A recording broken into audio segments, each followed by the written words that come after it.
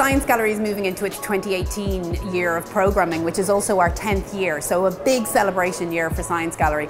And we're especially excited by some of the exhibition themes that we have coming up. It's a really interesting concept of trying to look at fake both from a positive and a negative perspective, how things are being faked, how perceptions are being played with.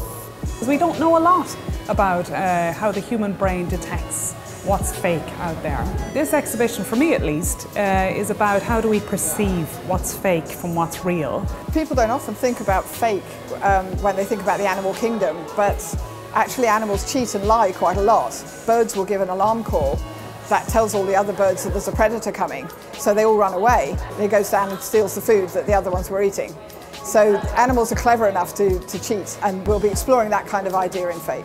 I really hope that people would basically come in, obviously knowing that the show is titled Fake and they would be quite suspicious of what they're encountering, but equip them in with some more kind of uh, critical faculties, so for them to be able to identify fakes and identify when they're being played with even more than ever, there's a need for places like Science Gallery that are exploring the big questions of our time and how actually by bringing together people from different disciplines, we get closer to some of the potential solutions to those challenges than we would by exploring them from one discipline alone.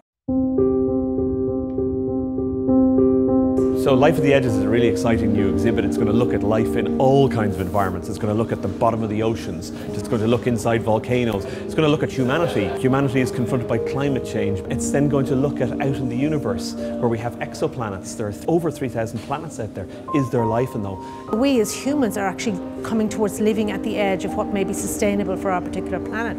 And so we'll be talking a little bit about how we can explore ways in which we can survive living at that edge and adapt to living at that edge. So I hope people come away thinking, wow, there's a whole spectrum of life out there in the normal environment that we see, but maybe more in extreme places. And we as scientists are going out to try and explore those and find evidence for life. Their future generations, their great great grandchildren, will be the first explorers out into the solar system, and who knows where they may end up living.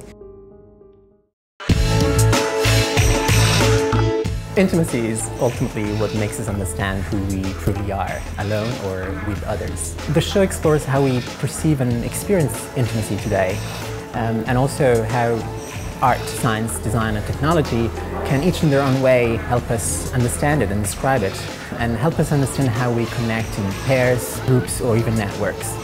Visitors to the show will get a, a general idea of our desire and need to connect, but hopefully they will be inspired by a never-ending dialogue between different ways of looking at the same phenomenon and how this, this dialogue hopefully can help us reach new definitions of intimacy and new spaces of experience for it and help us perhaps improve the way we connect.